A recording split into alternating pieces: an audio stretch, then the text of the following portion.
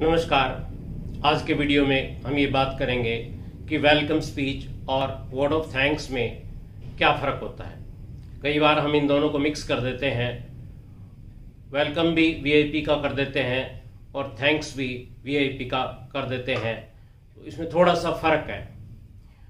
Welcome तो आप जानते ही हैं कि हम स्वागत करते हैं मुख्य अतिथि का और उनके बारे में कुछ जानकारी उनकी उपलब्धियों के बारे में।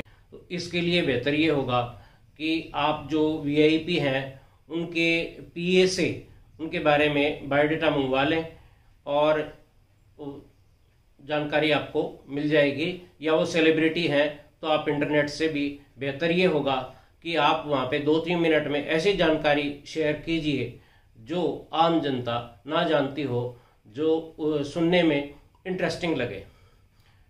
अब ये तो हो गया वेलकम स्पीच जो वोट ऑफ़ थैंक्स है, वो प्रपोज किया जाता है वाइस हेड के द्वारा। और वेलकम स्पीच जो हेड ऑफ़ इंस्टीट्यूशन है, वो प्रपोज करते हैं।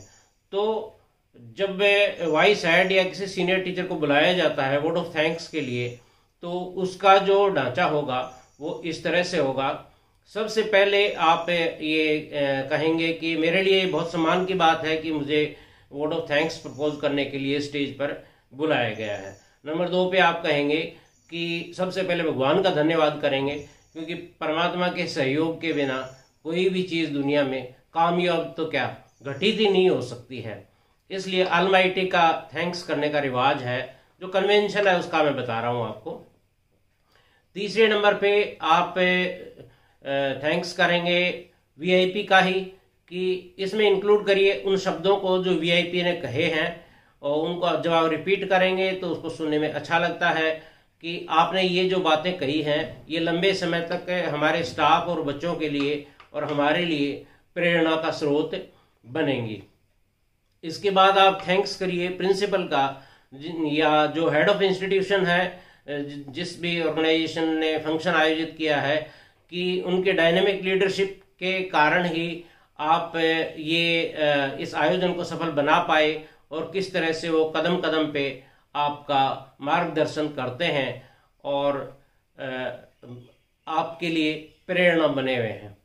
इसके बाद आप थैंक्स करेंगे एंकर्स का और इसके बाद में स्टाफ का थैंक्स करेंगे कि स्टाफ ने कई हफ्तों तक मेहनत की है इस आयोजन को सफल बनाने के लिए और बाद में आप थैंक्स करेंगे जो जिन बच्चों ने कल्चरल शो को पेश किया है, उसके लिए उन्होंने स्टडी को कंप्रोमाइज़ किए बगैर कई हफ्तों तक तैयारी करके एक शानदार कार्यक्रम पेश किया है।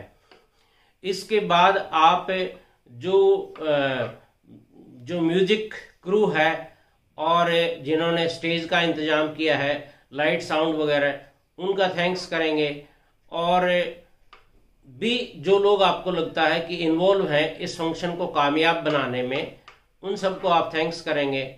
और कंक्लूजन के साथ आप पेरेंट्स का थैंक्स करेंगे कि उनका सहयोग आपको लगातार मिलता रहता है। और आज भी उन्होंने अपनी गरिमामयी उपस्थिति से इस समारोह को कामयाब बनाया। उनका बहुत बहुत शुक्रिया। इसके साथ ही आपका जो वोट ऑफ़ थैंक्स है, वो समाप्त हो जाएगा।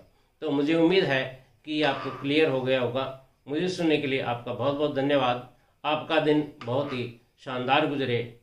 नमस्कार।